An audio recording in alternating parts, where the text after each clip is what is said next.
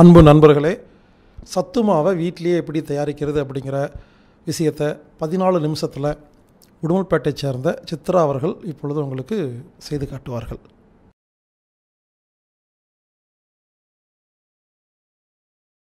சத்து மாவுக்கு தேவையான பொருட்கள் என்னென்னு பார்ப்போம்.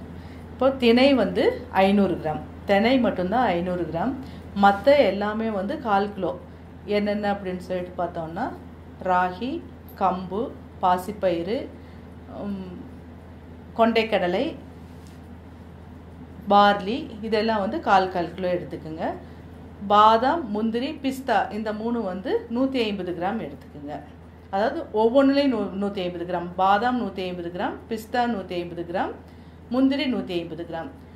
ஏலக்காய் வந்து ஒரு இருபத்தஞ்சு கிராம் எடுத்துட்டிங்கன்னா உங்களுக்கு சரியாக இருக்கும். அடுத்ததாக பார்க்க போகிறது சத்து மாவு. இது எதற்கான மாற்றுன்னு கேட்டிங்கன்னா போன்விட்டா பூஸ்ட் ஹார்லிக்ஸ்னு நிறைய இருக்கு இல்லைங்களா? அதுக்கு ஒரு மாற்று என்னன்னு கேட்டோன்னா அதுக்கு தான் இந்த சிறுதானியங்களால் செய்யப்பட வேண்டி செய்யப்பட்ட ஒரு சத்து மாவு நான் இப்போ செஞ்சு காட்ட போகிறேன் இப்போ நம்ம ஒரு பத்து பேர் ஒரு இடத்துல கூடி பேசுகிறோம் அப்படின்னு சொல்லிட்டு சொன்னோன்னா நம்ம ஒவ்வொருத்தரும் என்ன சொல்கிறோம் உங்களுக்கு சர்க்கரை எப்படி இருக்குது போன மாதம் இவ்வளோ இருந்துருந்தீங்க இந்த மாதம் சரியாயிருச்சா? பிபி எவ்வளோ இருக்குது கொலஸ்ட்ரால் எவ்வளோ இருக்குது அப்படின்னு சொல்லிட்டு இப்போ நியூ ஏஜ் இந்தியனுக்குன்னு சொல்லிட்டு வந்திருக்கிற ஒவ்வொரு நோயை பற்றியும் தான் நம்ம பேசிகிட்டு இருக்கோம். அப்போது அதுக்கெல்லாம் காரணம் வந்து நம்ம இந்த சிறுதானியங்களை எல்லாம் தள்ளி விட்டுட்டு நம்ம வெறும் அரிசி சாதத்தை மட்டும் சாப்பிட ஆரம்பிச்சிட்டோம். கூட இந்த சிறுதானியங்கள் எல்லாம் சேர்த்திக்கிறப்போ நம்மளுக்கு கேன்சர்லேருந்து எல்லா நோயுமே வந்து கொஞ்சம் மட்டுப்படும். இப்போ வந்து சிறுதானியங்களுடைய தேவை வந்து முந்தி இருந்ததை விட ரெண்டு மடங்கு ஜாஸ்தியாக இருக்குது இப்போ ஃபஸ்ட்டு இதுக்கான இன்க்ரீடியன் இதுக்கான தேவையான இன்க்ரீடியன்ஸ் என்னன்னு கேட்டிங்கன்னா ஃபஸ்ட்டு வந்து ராகி அடுத்தது கம்பு. அடுத்தது திணை. பாசிப்பயிறு.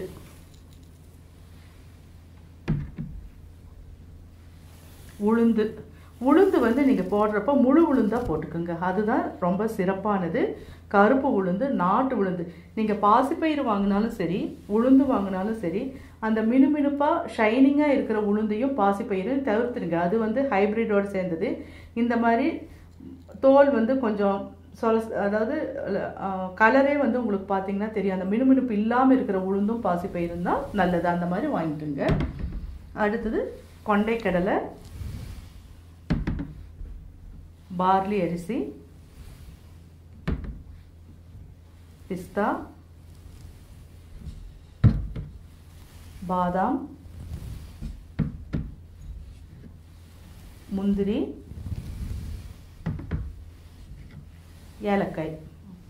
நம்ம இப்போ வறுக்க ஆரம்பிக்கிறப்போ முதல்ல என்ன பண்ணணும்னு சொல்லி சொன்னீங்கன்னா இந்த மாதிரி சின்னதாக இருக்கிற தானியங்களில் ஆரம்பிக்கணும். ஏன் அப்படின்னா இந்த சட்டி வந்து உங்களுக்கு சூடாகிறப்போ இதை போட்டிங்கன்னு சொன்னேன்னா இது சீக்கிரமாக கருகிரும். அதனால் முதல்ல வந்து நம்ம இந்த திணை கம்பு இந்த மாதிரி இருக்கிறத முதல்ல வறுத்துக்கணும். அடுத்ததாக பார்த்தீங்கன்னா சாரி திணையும் ராகியும் வறுத்துக்கணும். அடுத்ததாக வந்து கம்பு எடுத்துக்கணும். ஏன்னா கம்பு வந்து இந்த திணை ராகியை விட கொஞ்சம் பெருசாக இருக்கிறதுனால அடுத்தது கம்புக்கு போயிடணும். அதுக்கு அடுத்தது நீங்கள் பாசிப்பயிறு பார்லி உளுந்து கடைசியாக நீங்கள் வந்து இந்த கொண்டைக்கடலையை வறுத்தீங்கன்னா சரியாக இருக்கும். இப்போ ஃபஸ்ட்டு வந்து நம்ம ராகியை வருத்தோம் நல்லா வாசம் வர வரைக்கும் நல்லா வறுக்கணும் நீங்கள்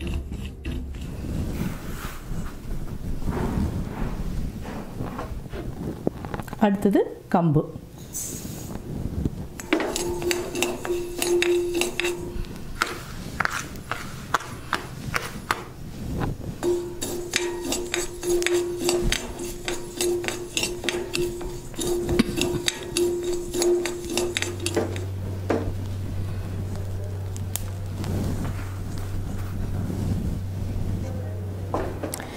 அடுத்ததான் நம்ம வந்து பாசிப்பயிரை வறுக்கிறோம்.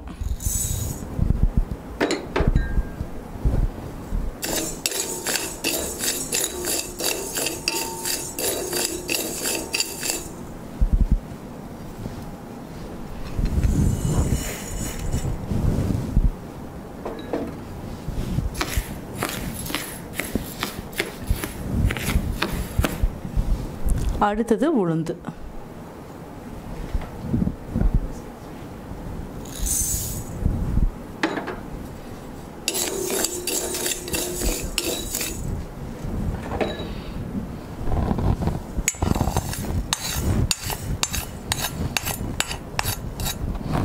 அடுத்தது கொண்டைக்கடலை.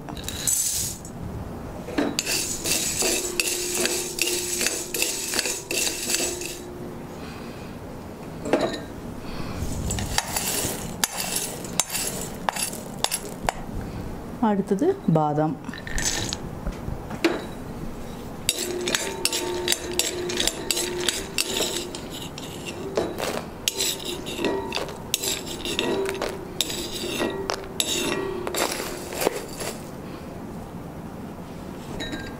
முந்திரி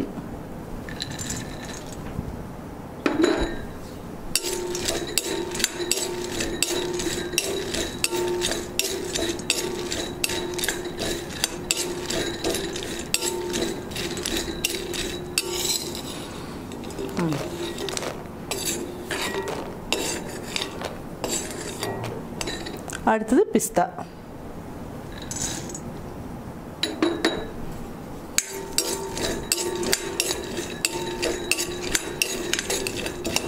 ஏலக்காயை வந்து நம்ம ஸ்டவ் ஆஃப் பண்ணிவிட்டு அந்த சட்டையினுடைய சூட்டுக்கே நம்ம போட்டுட்டோம்னா ஏலக்காவுக்கு போதுமானதாக இருக்கும்.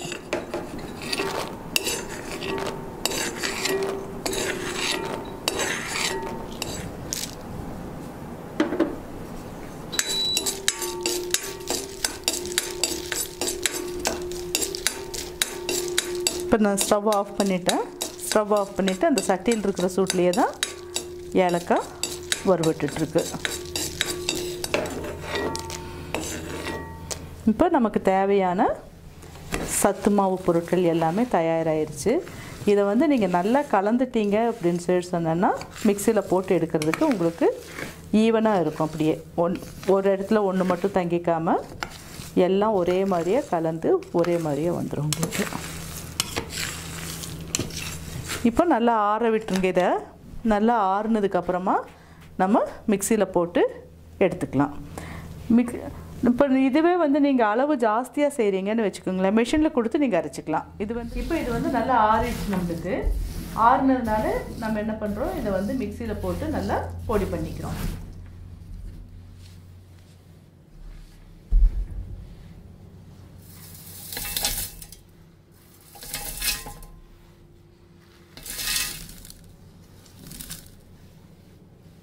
இந்த சத்து மாவு வந்து உங்களுக்கு ஹார்லிக்ஸ் மாதிரி வேணும் அப்படின்னு சொல்லி சொன்னீங்கன்னா நீங்கள் எப்படி ஹார்லிக்ஸ் வீட்டில் வந்து ஹார்லிக்ஸ் போட்டு வெறும் தண்ணியில் கூட நம்ம குடிக்கிறோம் இல்லைங்களா? அந்த மாதிரி தண்ணியை கொதிக்க வச்சு ரெண்டு ஸ்பூன் எடுத்து போட்டிங்கன்னா உங்களுக்கு வீட்லேயே ஹார்லிக்ஸ் தயாராகிடும் சிலருக்கு வந்து பாலில் வந்து பூஸ்ட் மாதிரி போட்டு குடிக்கணும் அப்படின்னு நினச்சிங்கன்னா பூஸ்ட் மாதிரி போட்டுக்கலாம். இல்லை கூழ் மாதிரி கூட நீங்கள் வச்சு குடிச்சிக்கலாம்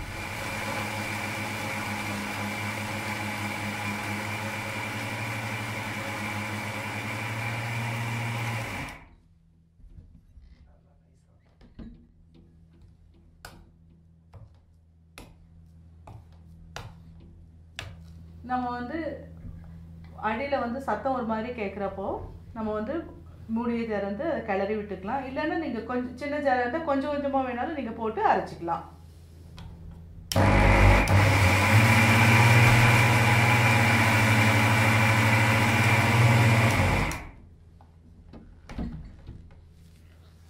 பார்த்தீங்களா இப்போ நல்லா நைஸ் ஆயிடுச்சு இதே ஒரு பிளேட்டில் கொட்டி நம்ம நல்லா ஆற விட்டு அதுக்கப்புறம் எடுத்து வைக்கலாம்.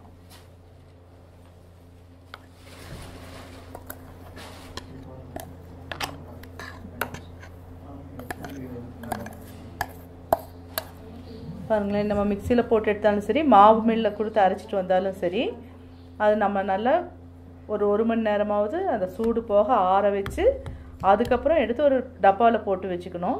நம்ம டெய்லி யூஸ் பண்ணுறதுக்கு ஒரு சின்ன டப்பாவில் அதை சேவ் பண்ணி வச்சுட்டு வேணுங்கிறப்போ கொஞ்சம் கொஞ்சமாக எடுத்து போட்டேன்னா நீங்கள் ஆறு மாதம் வரைக்கும் இந்த சத்து மாவை வச்சுருந்து யூஸ் பண்ணாலும் அதில் வண்டு பிடிக்காது பூச்சி பிடிக்காது எந்த விதமான வாசனையும் வராது. அதனால் நீங்கள் ஒரு பெரிய டப்பாவில் வச்சுக்கோங்க. எடுத்து ஒரு சின்ன டப்பாவில் போட்டு டெய்லி யூஸ் பண்ணுறதுக்கு வச்சு. பத்து நாளைக்கு ஒரு தடவை நீங்கள் சின்ன டப்பாவில் மாற்றுற அளவுக்கு உங்களுக்கு பத்து நாளைக்கு எவ்வளோ மாவு தேவையோ அந்த மாவை வந்து ஒரு சின்ன டப்பாவில் போட்டு எடுத்து வச்சுக்கோங்க. அந்த மாதிரி வச்சிட்டிங்கன்னா உங்களுக்கு ஆறு மாதத்துக்கு இந்த மாவு வரும். இதே இப்போ நம்ம மிக்சிலேருந்து எடுத்து வச்சு ஆற வச்சுருக்குறோம். இனி இப்போ நான் ஏற்கனவே சொல்லிட்டேன். இதில் வந்து நீங்கள் ஹார்லிக்ஸ் போஸ்ட் போன்விட்டா அந்த மாதிரி எந்த மாதிரி வேணாலும் குடிக்கலான்னு சொல்லிட்டு இப்போ இதில் வந்து நம்ம சத்து மாவு உருண்டையாக நம்ம செஞ்சு சாப்பிட்லாம். அதுக்கு என்ன பண்ணலாம் அப்படின்னு சொல்லி சொன்னீங்கன்னா நீங்கள் இப்போ ஒரு கப்பு இந்த மாவு எடுத்துட்டீங்கன்னு வச்சுக்கோங்களேன். இந்த கப்பில் ஒரு கப்பு மாவு எடுத்துக்கோங்க. உங்களுக்கு நல்ல இனிப்பு சாப்பிட்றவங்களா இருந்தால் இதில் முக்கால் கப்புக்கு வந்து நாட்டு சர்க்கரை எடுத்துக்கோங்க. இல்லை ஒரு அளவுக்கு இனிப்பு வேணும் அப்படின்னா முக்கால் பாகத்தை விட இன்னும் கொஞ்சம் குறைவான இனிப்பு நீங்கள் எடுத்துக்கோங்க. எடுத்து ரெண்டையும் ஒன்றா போட்டு மிக்ஸ் பண்ணிவிட்டு உங்களுக்கு நெய் ஒரு ரெண்டு ஸ்பூன் விட்டிங்கன்னா போதும். நல்லா வா உருண்டை பிடிக்கிற பாகம் வந்துடும் நீங்கள் எடுத்து நல்லா உருண்டை பண்ணனா அது சத்து மா ச சத்து மாவு உருண்டை அது ஈவினிங் ஸ்நாக்ஸுக்கு வந்து குழந்தைங்களுக்கு வந்து ரொம்ப பிடிச்சதாக இருக்கும். இதே இது வந்து வீட்டில் பெரியவங்க அந்த மாதிரி இருந்தாங்கன்னா அவங்களுக்கு கூழ் மாதிரி வச்சு கொடுக்கணும்னு வைங்களேன் அப்போ நீங்கள் வந்து ஒரு ஒரு ரெண்டு டம்ளர் கூழ் வைக்கணும் அப்படின்னு சொல்லி சொன்னீங்கன்னா இந்த அளவுக்கு மாவு ஒரு கரண்டியை ஒரு குழி கரண்டியளவு எடுத்துக்கோங்க மாவு. இந்த அளவு கரண்டி எடுத்து ஒரு பவுலில் போட்டுக்கோங்க ஃபஸ்ட்டு குளுந்தண்ணி ஊற்றி இந்த மாவை கரைச்சிக்குங்க. கரைச்சிட்டு ஒரு பாத்திரத்தில் வந்து நீங்கள் வெந்நீரை வச்சுக்குங்க. இந்த வெந்நீர் கொதிச்சதுக்கு அப்புறமா இந்த மாவு எடுத்து வெந்நீருக்குள்ளே போட்டு நீங்கள் கூழ் காய்ச்சணும். வெந்நீரை எடுத்து நீங்கள் இதுக்குள்ளே போட்டீங்க அப்படின்னு சொல்லி சொன்னால் மாவு கட்டி கட்டி ஆயிரும். உங்களுக்கு கூழ் நல்லா வராது. அதே இது வந்து நீங்கள் குளுந்தண்ணியை இதுக்குள்ளே மிக்ஸ் பண்ணி இதை வந்து நீங்கள் வெந்நீரில் மிக்ஸ் பண்ணீங்க அப்படின்னு சொல்லி சொன்னீங்கன்னா உங்களுக்கு வந்து கூழ் நல்லாயிருக்கும் அது ஒரு கொதியோ இல்லை ரெண்டு கொதியோ வந்து உங்களுக்கு வந்து சர்க்கரை போட்டு சாப்பிட்ணும் அப்படி குடிக்கணும் அப்படின்னு நினச்சிங்கன்னா நீங்கள் வந்து நாட்டு சர்க்கரை போட்டு குடிக்கலாம். இல்லை ஆற வச்சு தான் எங்களுக்கு பிடிக்கும் அப்படின்னா உப்பும் மோரும் வேணாலும் நீங்கள் போட்டு குடிக்கலாம். அது வந்து நம்ம சாய்ஸ் தான். எப்படி வேணாலும் நம்ம அதை எடுத்துக்கலாம். இப்போ நம்ம அரைச்சி வச்சிருக்கிற இந்த சத்து மாவுலேருந்து சத்து மாவு உருண்டை எப்படி பண்ணுறதுன்னு பார்ப்போம். இப்போ இந்த சத்து மாவு நம்ம ஒரு ரெண்டு கப் எடுத்து இந்த மிக்ஸி ஜாரில் போட்டுக்கிறோம். நாட்டு சர்க்கரை ஒன்றரை கப்பு போட்டுக்கலாம். இது எதுக்கு மிக்சியில் நான் போடுறேன்னு சொல்லிட்டு சொன்னேன்னா கொஞ்சம் நல்லா மிக்ஸ் ஆகும். இந்த நாட்டு சர்க்கரையில் இருக்கிற சின்ன சின்ன உருண்டைகளும் நம்மளுக்கு வந்து ஆரப்பட்டுருங்கிறதுக்கோசரம் தான்.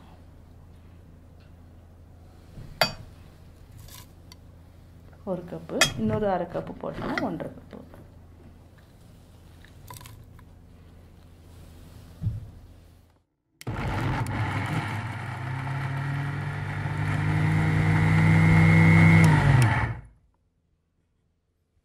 பாருங்க நம்ம கையில் கலக்கிறத விட இந்த மிக்சியில் போடுறப்போ ரெண்டும் கலக்கிறது நல்லா கலந்துருது.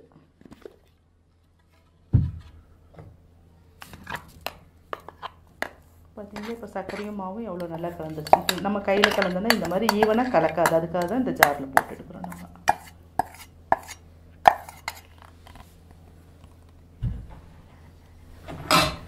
இப்போ நெய் வந்து உருக்கி இருந்தால் நல்லாயிருக்கும் இது உருக்காதனால நம்ம கொஞ்சம் நிறையா விட வேண்டியதாக இருக்கும். உருக்கி இருந்துச்சுன்னா இன்னும் கொஞ்சம் குறைவாக விட்டாலே போதும். இவ்வளோ விடணுங்கிற அவசியம் இல்லை.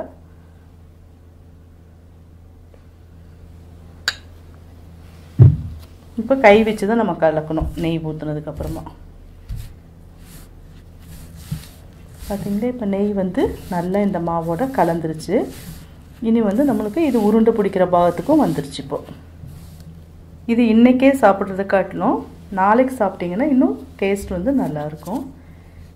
ஏன் ஏன் அப்படின்னா அந்த மா இதெல்லாம் இருக்குது இல்லைங்களா கம்பு ரா ராகி இதெல்லாமே வந்து சர்க்கரையோடவும் நெய்யோடவும் மிக்ஸ் ஆகிறதுக்கு ஒரு நாள் விட்டிங்கன்னா அந்த இனிப்பு சுவை வந்து அந்த ராகி கம்பு நம்ம போட்ட சிறுதானியங்கள் எல்லாத்தோடவும் மிக்ஸ் ஆகிக்கும் அதுக்காக இந்த உருண்டை பார்த்தீங்களா எவ்வளோ நல்லா வந்திருக்குன்னு சொல்லிட்டு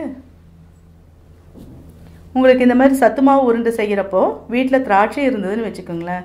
திராட்சை ஒரு இருபத்தஞ்சி கிராமோ ஐம்பது கிராமோ எடுத்து அதையும் மிக்சியில் லேசாக ஒரு தட்டு தட்டி இல்லைன்னா இந்த சர்க்கரையும் இதுவும் மிக்ஸ் பண்ணுறப்போ திராட்சையும் உள்ளே போட்டு அதோடு சேர்த்து நீங்கள் வந்து உருண்டை பண்ணிங்கன்னா அது இன்னும் ருசி ஜாஸ்தியாக கொடுக்கும்.